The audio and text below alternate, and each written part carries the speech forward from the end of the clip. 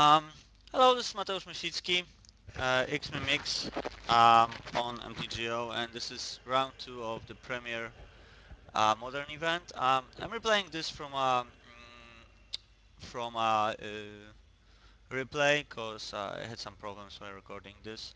Uh, so this is quite an interesting match where, where, I, where I hope to, to show uh, why I'm playing the black one actually, but well, let's let's not go ahead. I kept a very good hand with like a turn to Knight of the Reliquary or Domri Rade um, if I want to. So I'm actually casting Death Deathrite over Steppe Lynx here because I, I really want those guys out if I if I can. Um, so he can be anything at this point. Um, I'm, I'm saving fetch obviously for the Steppe Lynx and casting uh, a knight here, which, well, just because it is gonna get bigger. Uh, so he's on either some kind of combo or, or some kind of um, control deck. Uh, we're not worried about neither of those. Um, like, uh, we're pretty quick for combo, like for twin, and we've got Domri Rade if he wants to like flash the, something turn free. And um, well, against control we've got Domri, we've got Big Knight, we've got Steppe Lynx, which is also very fine. So uh, we, we draw another land, which is fine. Uh, we need lands for, for Steppe Lynx. And we also get a Domri into play, which we don't, because it, get count it gets countered. Um, okay. Uh, here's sacrificing a land, and he, he wants to respond to respond with with what looks like electrolyze. Um, he probably just noticed that he can't kill um, the Knight of the Reliquary here, and he thinks on to what he wants to do. Okay. Yeah, he, he was thinking for a while here, so he just killed uh, the Deathrite. It's fine. Uh, Electrolyze can go a lot worse. For example, killing like two Steppe Lynx or something. Uh, so I've got a huge Steppe Lynx right now from that, that, and uh, so that's like 6-6. And also Knight of the Reliquary is stacking for quite a lot. I played the Domri before I played the Fetch, because if I don't get a dude, I, I usually want to just shuffle it. Um, especially against a deck like that where I don't even want Burn or another Domri. Because only thing that is not dude I can get is like um, another Domri or uh, actually uh, a removal or a land. So I want to shuffle all those and if I get a dude I, I don't shuffle anything because I just get that dude into a hand. So it will be a land which is good to shuffle and I get a Deathrite Shaman. At this point I've got like an absurd uh, board state and it doesn't look like he can cast um, um, what's it called a Supreme Verdict from that so I'm, I'm pretty safe here and uh, another knight and a Steppe Lynx from Domri. So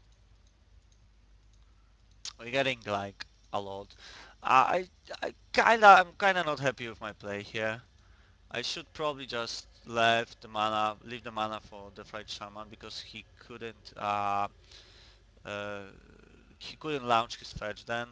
Uh, instead I'm playing the knight which is kinda bad because uh, if he has like a Supreme Verdict then this kind of deck will play Supreme Verdict and I'm just in, deep trouble. So uh, I actually made a mistake here. I should just leave up the, the Shaman activation. Uh, but he didn't have anything, so the game is over. Okay, so that was game one. And the sideboarding for this deck is pretty easy. Because uh, Well, you're just not sideboarding a lot because you are already prepared to, to, to beat that kind of deck. Uh, I was just siding in uh, two Thundermaw Hellkite and like two Spellskites and I was siding out like some removal. Uh, I left Burst Lightnings in case he's got like an Angel or something. Uh, lightning Bolts are not doing anything basically. Oh, that, that also kills a Colonnade, which is his kill condition.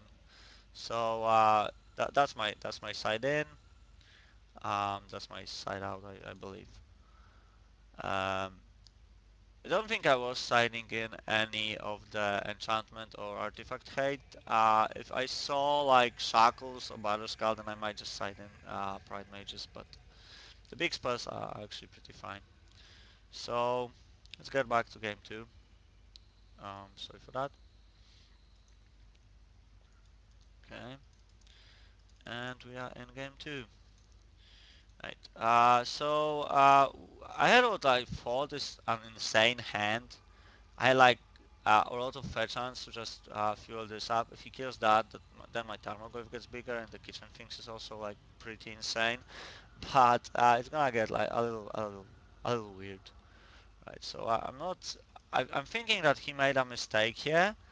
That he didn't bolt it in response to, to the fetch land and then he couldn't. Maybe that was the case, but uh, it, it actually went a lot funnier.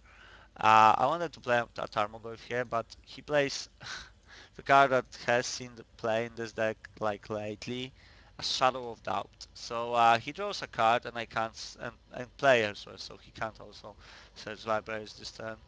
Uh, so I actually, that, that's like a, um, that's like a stifle with a draw a card uh, in in for my first round. So I I I didn't get a bonus here, and this and I couldn't play this one either. So 10 to 10 to same thing happens. He has like a second shadow of doubt. So uh, he effectively uh, like impaired my, my mana base twice. Uh, this time he doesn't have a Shadow of Doubt, uh, but he has a Spell Snare. So, uh, like I said, it's, it's getting pretty insane. Uh, I don't want to Domri to get countered this time, especially by mana leak, so I'm just uh, running out Noble Hierarch and the Deathrite Shaman. and he has a Think twice and a Bolt. So uh, he's a lot of his spells were drawing cards actually, so he's effectively staying on a, on a large number of cards while dealing damage uh, to my to my deck. Uh, so the Blood Moon would uh, end the game, but I just didn't want it to get countered, so I preferred to cast a Domri here actually for some value. And let's see what's he gonna have. And he has a cryptic command. So uh, I'm, I'm left with like only a Hierarch, which I'm gonna attack with and um, right another turn he doesn't play a land which is not good. It means he's just full on fuel. Um, I'm casting things here I think. Yeah I think nah a, a Knight of the Reliquary and he has another cryptic command so uh, it's like uh, he's got all this all this best spells like uh, a Ponza with a draw a card a counter with a draw a card and effectively they're just leaving me nothing on board I should probably just cast it off of the like um, one of the lines and just attack for one, but th- that was like a minor mistake. So I'm, still drawing pretty fine, uh, running out the Knight of the Reliquary, and he just double bolts it. Oh, just Electrolyze and bolts it. And again, he's got a, a, a spell that draws him a card. So even though he's uh, killing my stuff, like countering it every turn, he's still staying on a lot of cards in hand. And here I actually, yeah, I think I, I'm just running those two. And he's got another cryptic command. That's a third cryptic command, which is pretty insane. Uh, at this point, I'm realizing I'm probably dead, but I'm just finishing it off. And Tarmogoyf gets a spell snare. So uh, there's a lot of like insanity here. Right, so uh, well, that's, that, that's just my last chance that he does like have only um,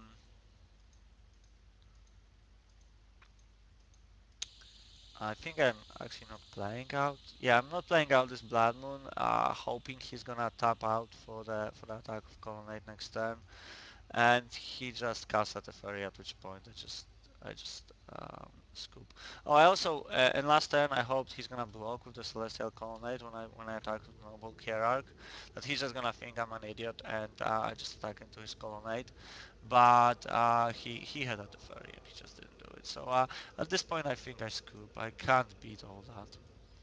Right. So um, that was some some insanity from him, And game three, uh, okay, uh, I, I keep a very aggressive hand, uh, which which hopefully will, will put a lot of pressure uh, with Tarmogoyfs and the knight. So I want I want the knight as quick as possible, so just run it out. Uh, sure, it can get bolted, but if it doesn't, then I just get like uh, a huge guy, and it got bolted. Mm, so now that Deathrite Shaman is in the awkward position where I can't actually use him if I don't draw a fetch land, and I didn't. So I have to just run Tarmogoyfs and uh, the, the counter festival just, just starts. So, okay. Uh, I did draw a Blood Moon, and I, I, I'm all set on, on just uh, running out this Blood Moon right now, because uh, it, it shuts down his deck completely.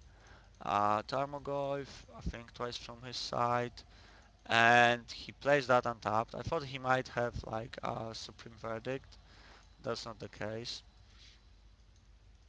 So I, I have to keep attacking. I don't know why I didn't. I, I didn't attack for uh, with Deathrite Shaman for like two or three turns here.